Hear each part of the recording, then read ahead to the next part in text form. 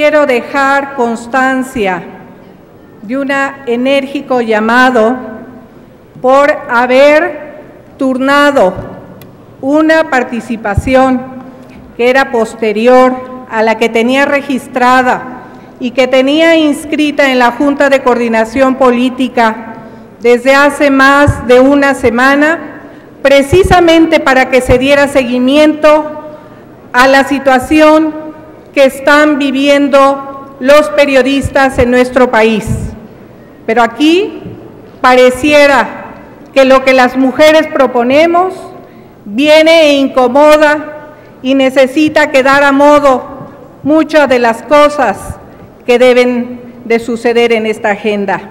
En efecto, mi participación está dirigida por todos los acontecimientos que han sucedido en contra de los periodistas de nuestro país. Y quiere que quede claro y que quede constancia que el Grupo Parlamentario de Convergencia es uno de los primeros preocupados por esta situación. Y no se vale manejar la agenda a modo. Y yo invitaría a todos los diputados y diputadas que en este momento van a votar a favor, sí, de la formación de la comisión, que entiendo que es correcto y es válido. Lo que no se vale es tratar de ponerse medallas que no corresponden. Y en efecto, me solidarizo para que esta comisión se forme.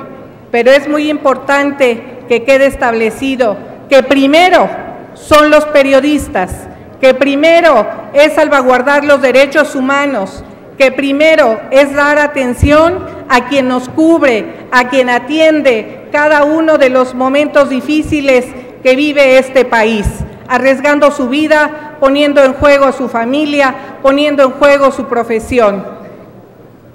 Desde aquí hago constar que sí, en efecto, es un llamado a la Comisión Nacional de Derechos Humanos y a la Procuraduría General de la República a través de la Fiscalía Especial para la Atención de Delitos Cometidos contra Periodistas para que en el marco de sus atribuciones amplíe e intensifique las labores de investigación de los delitos cometidos contra los periodistas y se apliquen las acciones necesarias para protegerlos del riesgo debido al ejercicio de su profesión.